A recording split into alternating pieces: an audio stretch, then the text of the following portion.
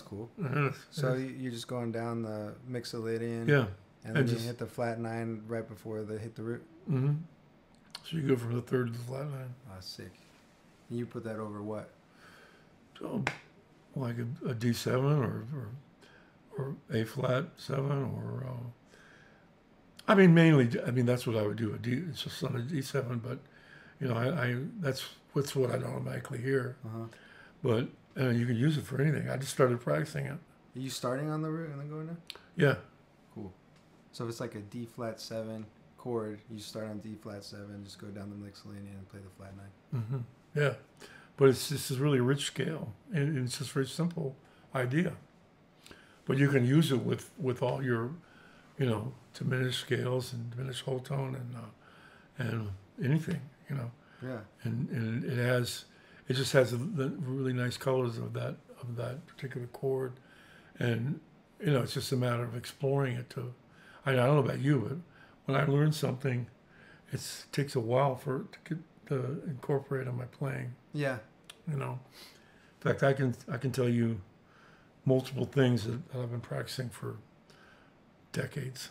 It's a never ending thing. yeah, and and I just now you know just just sort of figure out it's you build vocabulary, but you don't necessarily hear it yet. Yeah. You know, um, I mean the the the um, the the, the two five one licks when I was when when when I was young, I was um, I was in Berkeley and, and um, Mark Levine was a neighbor of mine. Oh wow. Piano player. Yeah, and the guy that wrote the jazz piano That's book a good the book, man. Yeah, and and um, friend we used to he he played valve trombone and so he's um he didn't even want to play piano at these sessions I was putting together, but anyway I I got him on the phone one time and I was just kind of perplexed with um, you know how how I wanted to build my vocabulary. He he gave me a lesson that that just like like told me three things and I was practicing on that for years. What are those? But it was, it was just, um, you know, this one.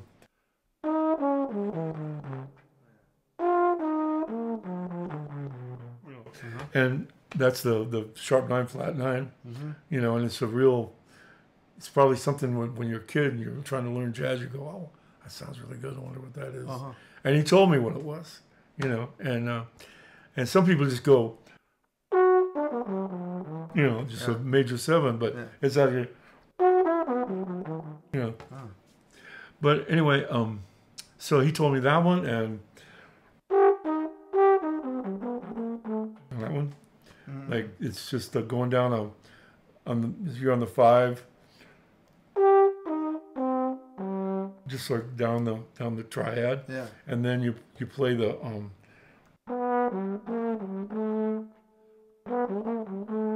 it's a-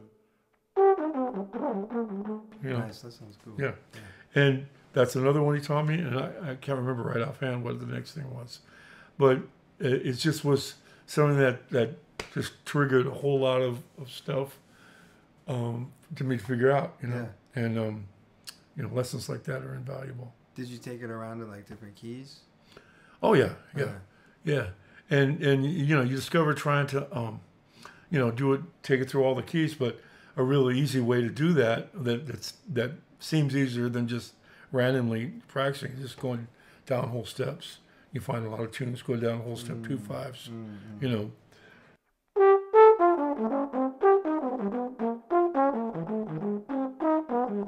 You know, in Charlie Parker tunes, you can you can pick any tune and then you could you could isolate phrases and just do the same thing. Mm-hmm. You know, and um, um, you know, like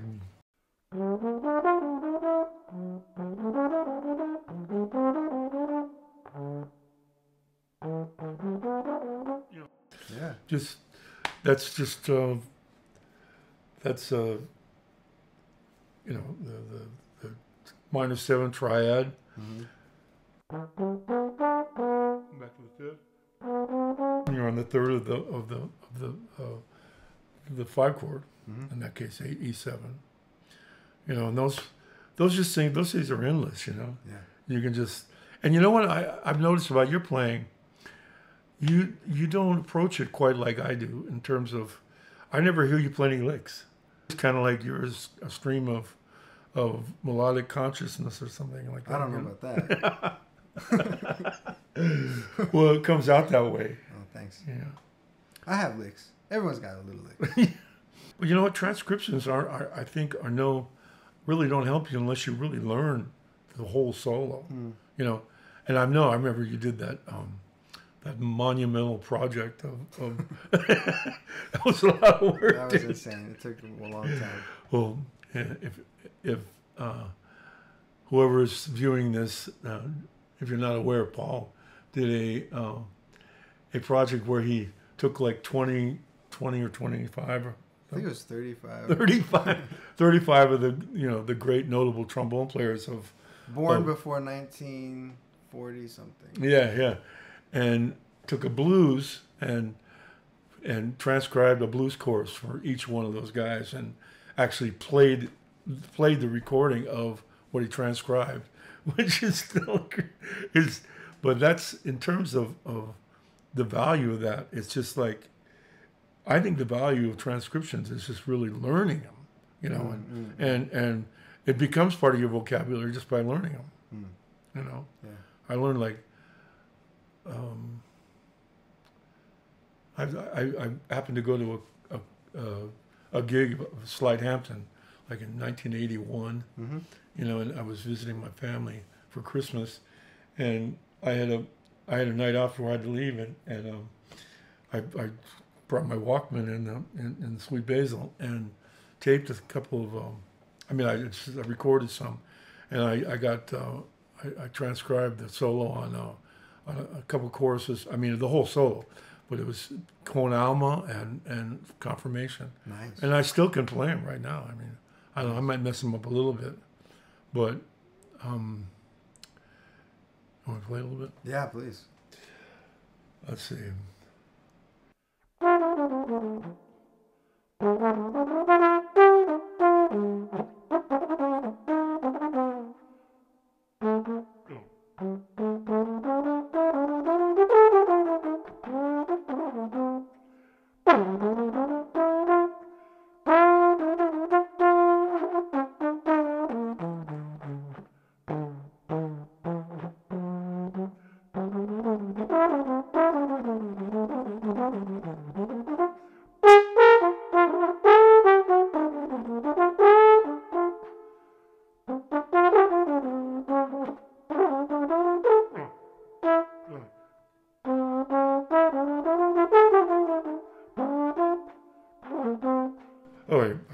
Forgot. Sounds awesome, man. You have a really good tone.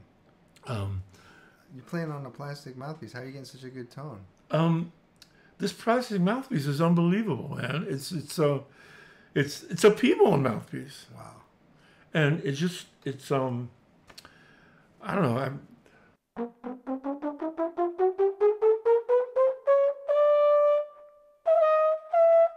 I know. Yeah, sounds and awesome. It's um it just does the job. And uh, it's always room temperature. Mm-hmm. You never, you know, if you're playing outside, you don't have to worry about it being cold. Yeah. And um, it's it's just I, I switched them. My buddy um, Ozzy Melendez, I know some of you guys know of Ozzy. Ozzy Melendez, a great trombone player. He's playing with Springsteen now, mm-hmm. and bastard. but um, he was with us. He was in Marc Anthony for years and years, and he came upon it and he tried to talk me into it for months. And finally I tried it and I liked it. And I, You're hooked. He's, he's, he's offering for, he calls it um, comfort never sounded so good. that's, that's, his, that's his motto nice. about the mouthpiece, which is true, man. It's just, it's very comfortable. And a couple trombone players I've seen me play it and tried it themselves and they like it. Wow. Okay. And it's like about a, I don't know, it's between a you know, it's like about it between a seven and eleven C somewhere. Okay. okay. And it's it's big enough so you can, it's open in the middle register, and it's small enough that it feels comfortable going up high. Nice. Yeah, and you were telling me earlier you're playing the Silver Sonic, 3B. Yeah, Silver Sonic 3B. That's cool. But anyway, that that tr- solo has been with me, and and you know I can usually play that. if I practice a little bit, I can really do it. But mm-hmm But the Con Alma solo, the same thing. It's just beautiful, Mhm. beautiful solo, and it just taught me so much. That's awesome. Those they just come out in different contexts, and you don't even think about it. Cause Yeah, I mean, it's it's just becomes part of your vocabulary, and Mhm. and and, and the same thing happens when you learn bird tunes, Mm. you know, or, or anything you like actually, Mhm. you know, because you like to play what you like to play, you know, Yeah. and um, that's what you gravitate to, and that's what you should gravitate to, because that's that's you're reflecting your your own way to express whatever it is. It's amazing. I remember I first heard about you this here before I ever met you. Before I ever met you, Oh shit! you were in this book. No shit! Yeah, didn't know. Jazz Bones, World of Jazz Trombone. Yeah, so you're inside this book. I read this when I was a student, No shit! and then I I didn't up. even know I was in that book. yeah, you're in here. Let's find you. Let's see here. Where are you at? There you are. Right here. wow, it's got my birthday and everything. Yeah, but that's the appendix. You're actually in the Oh, I'm in the book. you're actually in the book. There's an excerpt about you inside here. Let's see here. Yeah, that's from my a notoriety from playing with Manny Oquendo, Conjunto Libre, which is a really special band. They are. Dan Reagan. Yeah. Beautiful. How did you get involved in the Latin scene? Um, well, I, it's it's funny. I, I'm, I had no inclination to, uh, to want to be a, you know, a Latin jazz or Latin music trombone player. I wanted to be in Tower of Power or something like that. That's why I moved to the East Bay of the Bay Area. Mm. And um and right across the street from where I moved in there were these uh, a bunch of musicians that, that um, lived on my same block. I was fortunate enough to just catch on with this whole circle of musicians. Um, a lot of many of which you know went on to great things, and um, they were playing. We we started a band called Salsa de Berkeley, Wow. and first we had steel drums rather than guitar or piano. And Jeff Narell, who's Andy Narell's brother. Um, you know Andy Norell, the steel pan player. Anyway, he's a famous steel pan player. His brother's, you know, just as good in his own way, but he was he lived across the street from me, and, and so the steel pans were the. In fact, there's there's a recording of this group from like '74 that is on. I think it's on Google or something like that. So it's Salsa de Berkeley live at the record plant. If anybody's interested, nice. yeah. But anyway, um, so we started this band, and um, I was playing, and, and um, Mark Levine was playing with Cal Tjader. We were open for Cal Tjader, Okay. and he comes up to me and he goes, "Man, you sound you sound beautiful. I haven't heard anything, you know, like this kind of playing since I knew Barry Rogers in New York." Wow. And I said, at that time, I thought Barry Rogers sucked. oh gosh. That's how lame I was. But um, I said okay, and he invited me to um, to be in, to to play with his nonette, Nice. and uh, I didn't know who he was, and uh, he picked me up, and we went to San Francisco, and all these guys that were the like the main cats in, in San Francisco, including Eddie Henderson, Wow. were there, and I go, oh my god, I was like 22, and um, so that got me started being. I mean, Mark Levine was in Cal Tjader, and my roommate was um, playing with um, Pete Escovedo, and uh, I started playing with Pete like in 76, 77.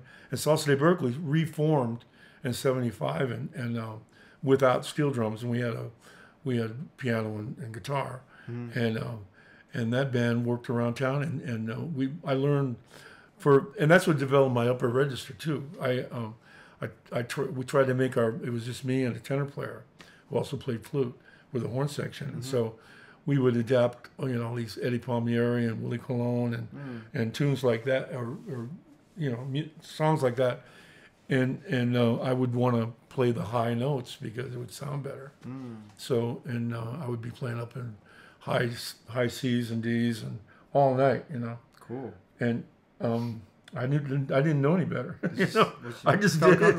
and and so that made me really equipped to play the music at, at a high level and um, so I got to I, I got into Peter's band and I uh, Peter Escovedo and Sheila you know Sheila E his daughter was Wow. was in that group and um, I did a lot of things with them, and and um, and then I, I got in this band in this uh, I the gig that took me to New York was um, I, I started touring with in '78. I started touring with um, this disco singer named Sylvester. Sylvester, um, his last name was James, but he was famous. He was actually, if you saw that movie, Harvey about Harvey Milk, Yeah.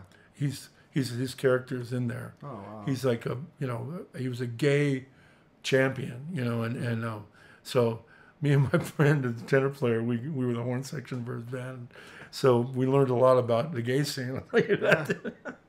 It's really surprising. I mean, for you know, I'm a relatively sheltered type of person, you know, to like walk into a, a room and it's all, you know, gay couples, hmm and you go, whoa, okay, this exists. I didn't know this existed, you know.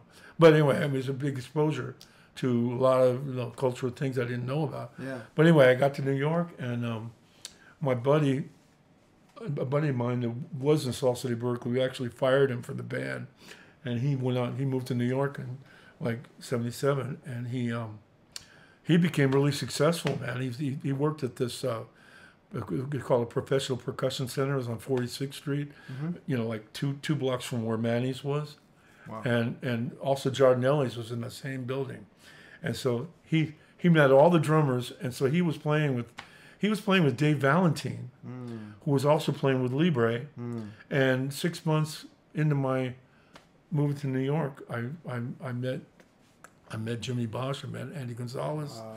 I met Pablo Vasquez, and and I got I, I, I got the gig. I got the gig with, with and it was one of the it was very important. In fact, it was the band I was most interested in, and it just fell in my lap. Nice. But you know, I was I was ready. Yeah, and then it led to all that whole scene. Yeah, exactly. Mhm. And the scene doesn't exist anymore, and I'm really grateful for having been a product of that. You know, because it doesn't exist now. Whoever, I feel I almost feel you know sorry for people that are trying to do what I did Mm. because it, it's a lot.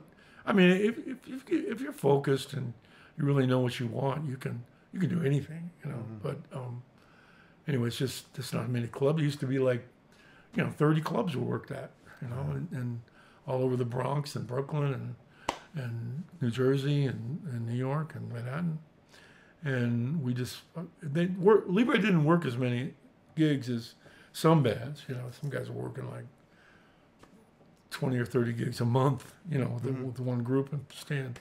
That's back when you could be with one band and make a living, Mm.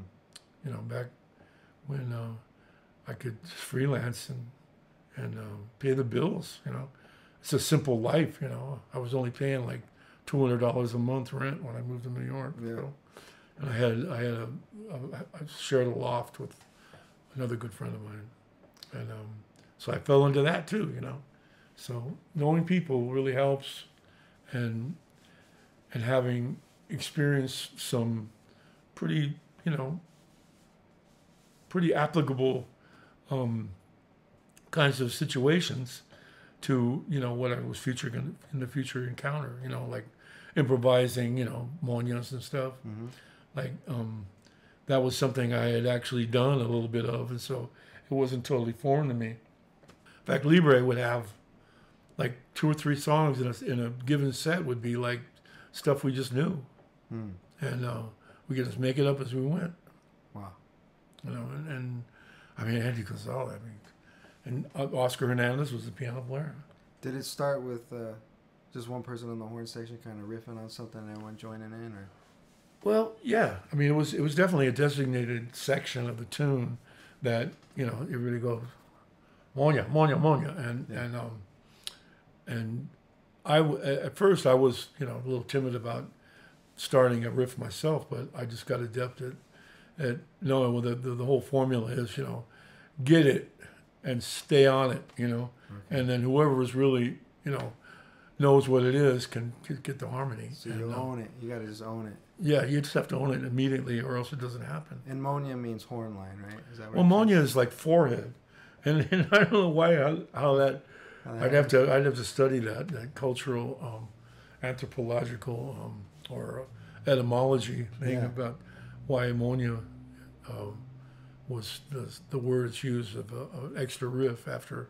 The mambo is one is a written thing Uh-huh. that it goes to after the couple verses, and then, um, you know, it's just it's not always the same formula, but it's uh, you know choro, you know, different choros happen, and then Yeah.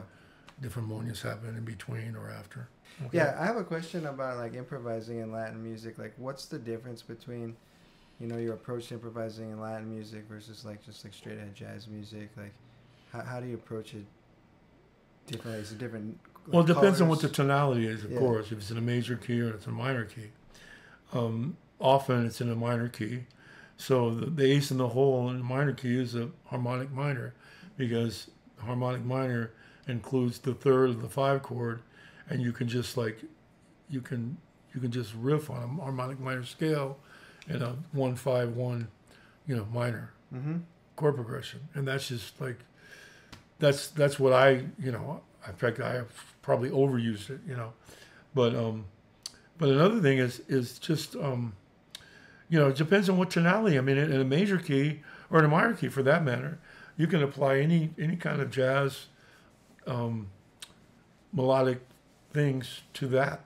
You know, Mhm. it's like you, you resolve a two five one just the way. Um, I mean, it's one five. You can put the two in there. You can you can you can use your devices over over the, the same chord progression as in Latin, and it's very expansive, man. You can just you can just uh, like it's it's modal, you know. Mhm, it's it's mm. but it's but at the same time it's specifically you want to you want to play the swinging rhythm and the melodic notes, Nice. you know. Yeah. So it's, it's a little more. You can. And, you know, you- the rhythm. You you're, you're responding to the rhythm, Mhm. and it's you know two three clave and and three two clave it's two separate animals actually so that that is a big one and um you know i'm just now feeling more comfortable with three two two threes always come naturally to me Mm. because you know you can three two is dot, dot, dot dot dot dot dot dot dot dot dot dot or dot dot dot dot dot dot dot you know those kind of licks Uh huh. are in clave and I remember when I went for my audition with Libre um, he said bring your horn you know and, and uh, he's he was sitting in, in his basement in the dark.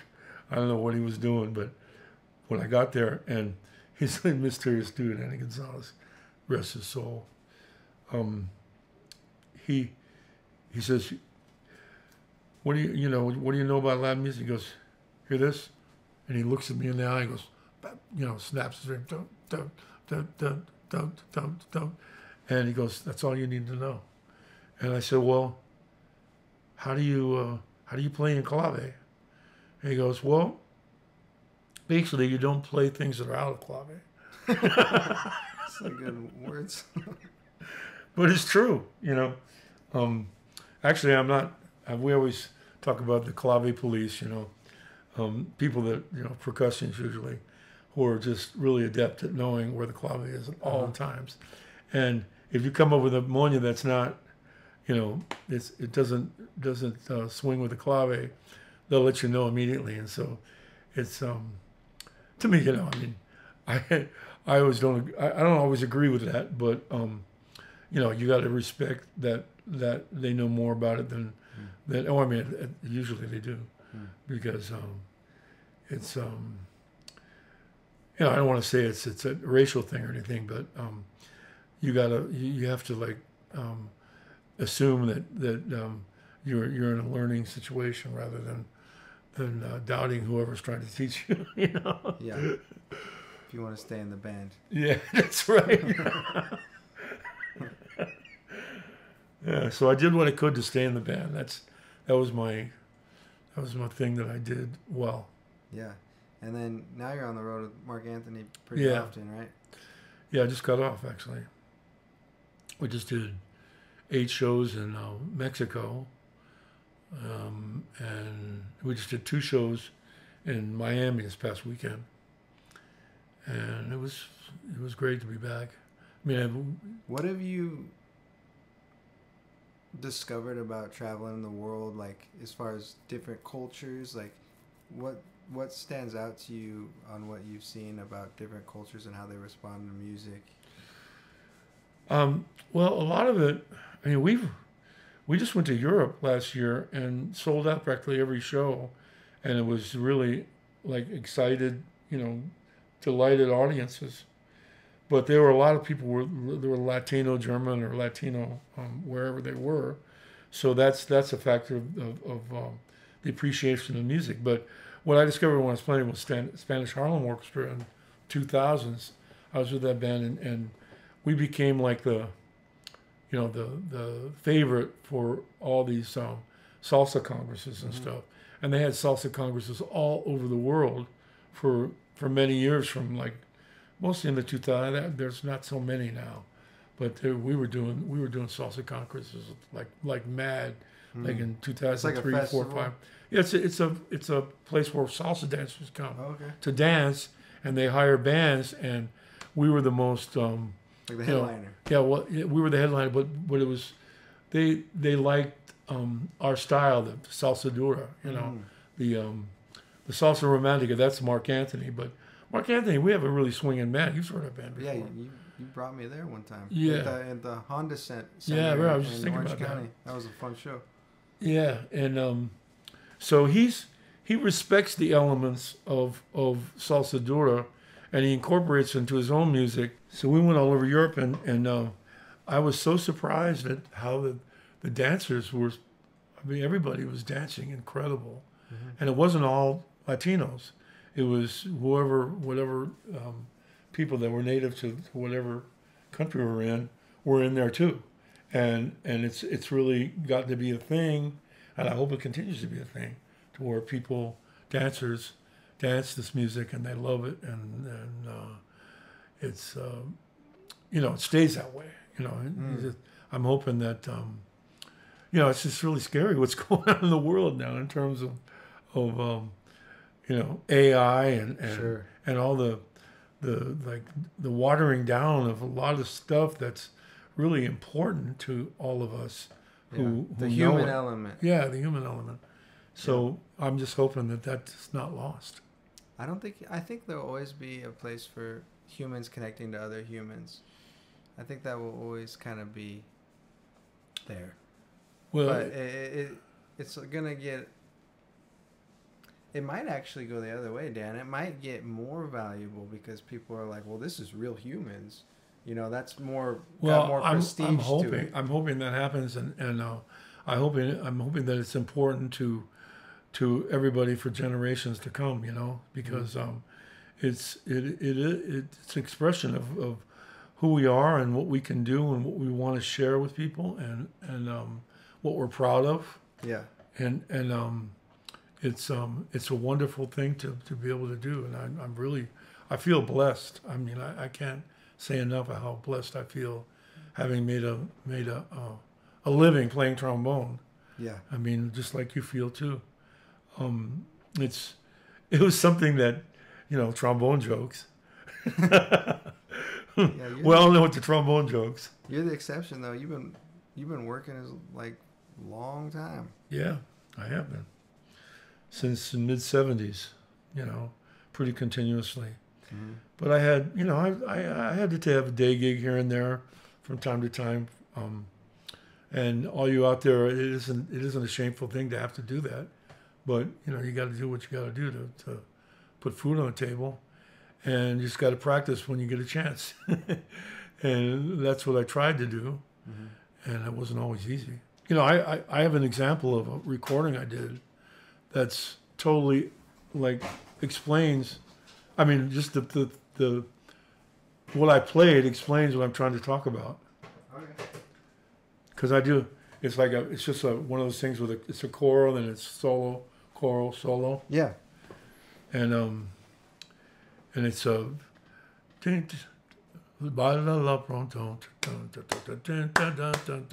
That's a chord. Uh-huh. And it's um, and and my solo comes in. I play I play just like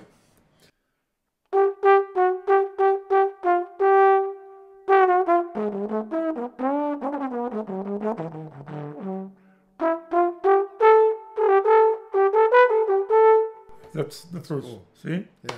It's just it's all it's incorporating, you know, a Latin, Latin like traditional um, approach to like trombone playing in, in this context, and applying a, a, a, a very noticeable jazz lick in there that swings just as Yeah. hard as anything else. And what kind of articulation do you typically do when you play? Um, I was just single tonguing, and I I, I, I triple tongued it. Da, da, da, da, da. When you when you single tongue, what syllable are you doing? Just a t Tough. or duh, depending on if it's legato or if it's um, accented. Okay. you know. And um, I didn't play it all that great, but you know, I, get the point to me. across. but um, we always look at our mistakes, don't we? You know, It's natural. of course. But um, you know, that's just an example of um, uh, just just how to how just melodic and swinging playing just can apply to anything. hmm That's what I always found. I always found that if you study jazz music, you can adapt it to any style of music. Like Yeah. jazz is like, if you're ever gonna study any style of music, study jazz music. Have you noticed jazz musicians can always adapt to every style? Oh yeah. Yeah. but other styles can't adapt to others. Have you noticed that? yeah. Something absolutely. about jazz music. It's maybe the way they listen or something. You know, have you ever been? Have you, have you seen on Facebook the Carol Kaye's posts? Oh yeah. And she she talks about that. Jazz musicians were the people that were working all those, you know, all this in the studios, and you know, back when the studios were like they they were in the 50s, 60s, 70s. Yeah. And jazz musicians are the ones who were getting all the work because they could adapt. They're like chameleons. Like Yeah. jazz musicians are like chameleons. I mean, a lot of those things that, that you assumed were written by the the the, uh, the artists that, that you know were putting out the song, those those were put together in the studio by jazz musicians. Yep. It's amazing. And and the same thing in Motown, you Yeah. know, Atlantic, you know, all those those uh, those studios that were famous for cranking out hits. Yeah, it's funny, and you, you study like this real intricate stuff, but then when you get out into the working world, it's usually very simple music that pays the most. Have you noticed that? yeah. It's like some of those high pressure dates have like really simple horn lines on the on the page. It's very rare that you're gonna have like these really intricate Rick Helzer type charts. you know what I mean? that would be an antithesis of what would be happening. It's never like that at the high paying gigs, like the high pressure gigs too. The high pressure gigs are always real chill, like music wise. Well, we're talking about Rick Helzer, a, a teacher we had at San Diego State, who went out of his way to uh, to teach jazz, and like they call it the chromatic modal. yeah, approach. A brilliant mind, super. Well, they should know. We met when we were getting our masters at San Diego State. Mm. That's when we met. I lived down in San Diego for a while, and we used to hang and play trombone. There was only us really there doing Yeah. trombone, right, Yeah, at the time, and uh, we got to be really good friends. And yeah, and um, yeah, that was that was a great experience. I mean, I I, I loved your I loved your um, your recital. It was really Oh, thanks. Recital. it. Thank you. and it was really well thought out. Mine, I was so disappointed, man. I just didn't. I I stuck with um, just things that were because I didn't have enough time to really do like I wanted to do it, Hmm. and so I kind of fudged. I thought it was good. Oh, you were there? I think so. Yeah. Were you? Oh. I think you might have been. Yeah, but I I, I had a, I had a You train. had. Chris on piano. Yeah, Yeah. Okay. I remember your band. yeah. It's good. Right. But anyway, um, we had a lot of fun in that in that couple of years, and I learned a lot. And it was, um, you know, I wasn't meeting any people in San Diego because I was on the always on the road. You know, you always had to leave. yeah, I'd always have to leave, and so, so I decided, well, I need to meet people, and and so I asked, I, I just sounded Bill Yeager, and um, he said I might be a very good fit, and so he he, he brought me in, and um, Paul was there, and uh, a lot of like Louis Valenzuela, and uh, Leonard, you know, yeah, Leonard, and um, Mac, yeah, great bass player. Yeah, And it was cool. We got to Mac, Mac, Yeah, yeah. we both studied with Scott Kyle. He's been on this show. Uh, oh, really? Yeah, he? Scott, I wondered about that. Yeah. Scott Kyle's a great player. great player. And Yeah, so we we'll study with Scott, Scott Kyle. What were your lessons like? You? you know what I learned from him the most was like getting my single tongue good, getting the articulation good. So I remember I had like a life changing lesson. You know, when you go to a lesson and then after it, you're like, that was it. Like clicks. You know, Mhm. I had that moment with him, and it was when he was like, okay, say the syllable da, and then we worked it up, and I just did a B flat major scale da da da da da da da, da and I just kept working it up, and I got it so fast with the single tongue. I all of a sudden realized how I played so fast, and everything clicked from that moment for the rest of my life. And I realized that syllable, and like, it was a really. He can double tongue. I mean, he can single tongue faster He's the than anybody. best. He's the best that I've ever heard. He's amazing. Yeah. He can play fast, and I I double tongue myself. Do you doodle tongue? Single tongue, Really? everything. Everything? I'll do like a little like triplet figures, like the diggity da, like that Yeah. kind of a thing. Yeah. But most of it's da da da da da da da da da diggity da diggity da, like that kind of a thing. Yeah, I do that too. And um, but I double tongue for things that are you know that I can't catch up with a single tongue. Mm, that's cool. Like I wish I could get the double tongue together. I, I mean, I could if I practiced it, but You know what I got when you you had um, uh, what's his name, Tom Amoroso, what's his name? Is trombone player. What's his name? Amoros or oh, Steve? Steve, Steve Armour. Yeah, Yeah. he's an amazing player. Yeah, He plays the same horn you do. oh, really. I think so. He's. But I, I listened to that the Bone Masters thing and and Well, he's a constellation. Yeah, go ahead. Oh, well, anyway, that, that really gave me confidence that I could make double tonguing work. I was thinking that a really a big mistake not de- developing doodle tonguing. Mm, mm, mm. But now I can, you know, I can.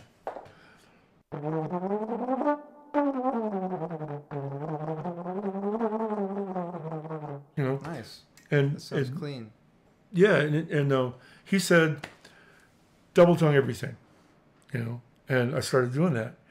It so helped me, man. Thank you, Steve. Yeah, that's awesome. Steve's monster. Thank you, Paul. Yeah, it's, it's really. But you know, you can get a lot out of these these uh, these uh, little sessions we have. Yeah, it just takes one little nugget to Yeah. completely transform. And sometimes it's just hearing someone else explain something that you already know, but the way they explain it all of a sudden can resonate with you in a different way I noticed. Yeah. And then it like clicks, even though you've heard it before. But it's a way some people can explain things that resonate with different people.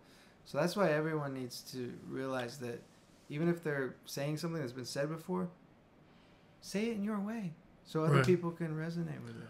Well, plus, I mean, if you if you're attracted to how you know you're admiring somebody, um, how they play, and you get to talk to them and you ask them about that, and you can really learn from from just being attracted to whatever it is that you want you aspire to be, you know, to have in your playing. Yeah. like a like a real smooth articulation and um, just um, you know all those those things. A lot of things are unexplained, but True. some of them are.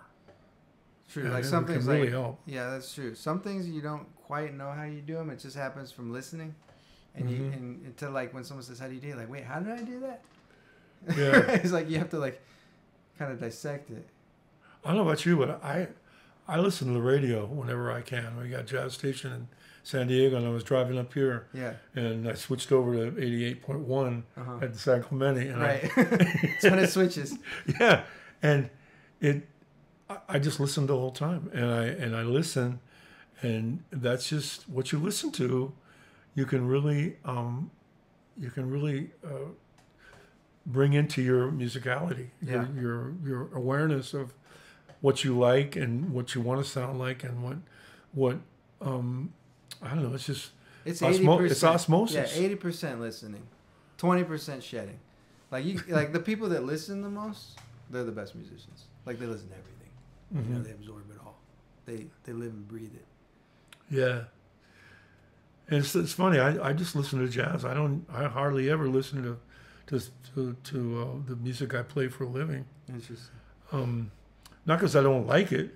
It's just that I, I, I just have. I'm just attracted to to uh, listening to jazz. You know, just and knowing. You know what? What's what's a good point for um, salsa playing is um, Jimmy Bosch told me a long time ago, and I asked him, you know, what? How do you how do you think of you know this, these phrases you come up with? He says he listens to singers, Oh, listens to soneros, Yeah. you know, and a lot of a lot of the great ones are great improvisers, and um, you can get a lot from from singers as to what is real um, applicable to uh, you know solos on any instrument. Mm. Well, yeah, that's all we're doing, anyways, is trying to emulate the, the voice. Yeah, that's right. It is a it is a voice. It's And, um, amazing. Do you want to do a little solo playing? That'd be cool.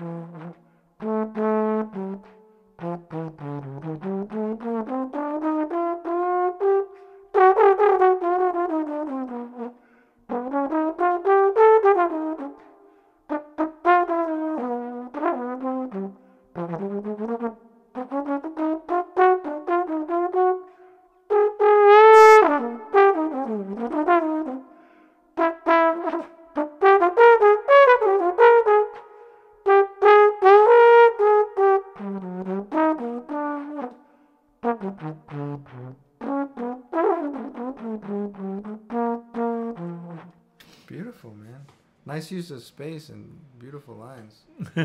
so good. Thank you, man. So Dan has a free Facebook group that is going to go into some of the insights he's learned as a professional trombone player, specifically in the Latin genre. And we'll be putting a link down below, and he can connect with you there if you have any questions for him. I'm excited about sharing some of my knowledge and, and seeing how it, it uh, can benefit the students I will, I will be encountering. I really, um, I feel like it's time for me to, to, uh, to, to, to pass the torch. Yeah. And this group's for everyone, right? It's like Oh yeah. any Definitely. level, any any age. Uh huh. Yep. and um, you know it, it's it's all incremental you know and, and and basically what you have to do is just conspire to involve yourself in musical activities whatever they are you know? Mhm. and um, whether it's the, the musical at the high school or or um, or you know marching band or uh, any kind. I mean every trombone player played in a marching band i guarantee it. And you know what? That that experience all adds to what we can do. Yeah. you know, it's like when we have choreography in a band, it's it's a lot easier having been in a marching band and That's true. playing while you're moving, you know, and it all it all um, can be applied to your your art, your what you what what you're what you're ultimately trying to achieve on the as a musician. Yeah, you can apply what you learn on one thing to various other things. hmm Yeah, absolutely. That's wonderful. Well, thank you so much. Oh, you want to play a tune together? Oh sure. Yeah, it's like play a blues or something. All right.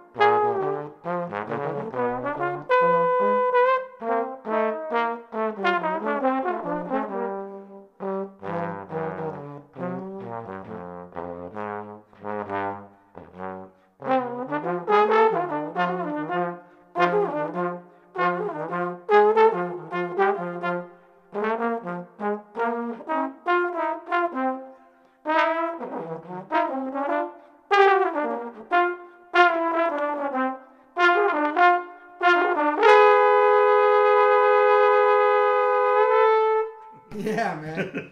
Sick. That was beautiful. and super fun.